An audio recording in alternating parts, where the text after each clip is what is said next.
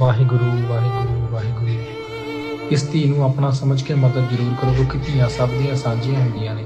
ਇਹ ਧੀ ਫਲੋਰ ਦੇ ਨਾਲ ਲੱਗਦੇ ਪਿੰਡ ਗੜੇ ਦੀ ਹੈ, ਜਿਸ ਦੀ ਉਮਰ 8 ਸਾਲ ਹੈ ਤੇ ਜੋ ਕਿ ਜ਼ਿੰਦਗੀ ਤੇ ਮੌਤ ਦੀ ਲੜਾਈ ਲੜ ਰਹੀ ਹੈ ਡੀਐਮਜੀ ਹਸਪਤਾਲ ਲੁਧਿਆਣਾ ਦੇ ਵਿੱਚ। ਇਸ ਧੀ ਦੀ ਬਲੈਕਿੰਗ ਵਾਲੀ ਨਾੜੀ ਹੈ ਜਿਹੜੀ ਉਹ ਬੰਦ ਹੋ ਚੁੱਕੀ ਸੀ। ਉਸ ਦਾ ਆਪਰੇਟ ਹੋਣ ਤੋਂ ਬਾਅਦ ਜਿਹੜਾ ਸਰੀਰ ਦੇ ਵਿੱਚ ਇਨਫੈਕਸ਼ਨ ਜ਼ਿਆਦਾ ਫੈਲ ਗਈ ਹੈ, ਟਾਂਕੇ ਖੁੱਲ ਗਏ ਸੀਗੇ ਇੱਕਦਮ। ਆਪਰੇਸ਼ਨ ਤੋਂ 2-3 ਦਿਨ ਬਾਅਦ ਤੇ ਇਸ ਟਾਈਮ ਇਹ ਜਿਹੜੀ ਬੱਚੀ ਹੈ, ਜ਼ਿੰਦਗੀ ਤੇ ਮੌਤ ਦੀ ਲੜਾਈ ਡੀਐਮਸੀ ਹਸਪਤਾਲ ਦੇ ਵਿੱਚ ਲੜ ਰਹੀ ਹੈ। ਸੋ ਸਾਡੀ ਸਾਰੀ ਨਾਨੀ ਸੱਜਣਾਂ ਨੂੰ ਫਲੋਰ ਸ਼ਹਿਰ ਵਾਸੀਆਂ ਨੂੰ ਗੜੇ ਪਿੰਡ ਨੂੰ ਬੇਨਤੀ ਹੈ ਕਿ ਇਸ ਵੀਡੀਓ ਨੂੰ ਵੱਧ ਤੋਂ ਵੱਧ ਸ਼ੇਅਰ ਕਰੋ ਤਾਂ ਜੋ ਇਸ ਬੱਚੀ ਦੀ ਮਦਦ ਹੋ ਸਕੇ।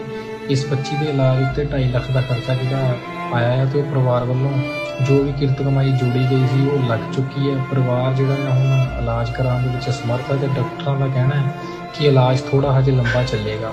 ਸੋ ਸਾਡੀ ਦਾਨੀ ਸੱਜਣਾਂ ਨੂੰ ਐਨਆਰਆਈ ਵੀਰਾਂ ਨੂੰ, ਫਲੋਰ ਦੇ ਐਨਆਰਆਈ ਵੀਰਾਂ ਨੂੰ ਗੜੇ ਦੇ ਐਨਆਰਆਈ ਵੀਰਾਂ ਨੂੰ ਸਾਰਿਆਂ ਨੂੰ ਬੇਨਤੀ ਹੈ ਵੀਡੀਓ ਵੱਧ ਤੋਂ ਵੱਧ ਸ਼ੇਅਰ ਕਰੋ ਤੇ ਇਸ ਬੱਚੀ ਦੀ ਜਾਨ ਬਚਾਉਣ ਦੇ ਵਿੱਚ ਮਦਦ ਕਰੋ।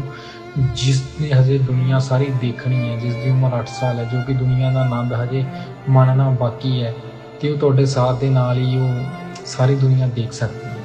ਸੋ ਸਾਰਿਆਂ ਨੂੰ ਬੇਨਤੀ ਹੈ, ਵੱਧ ਚੜ ਕੇ ਸਹਿਯੋਗ ਕਰੋ ਤਾਂ ਜੋ ਇਸ ਬੱਚੀ ਦਾ ਇਲਾਜ ਹੋ ਸਕੇ। ਧੰਨਵਾਦ ਜੀ।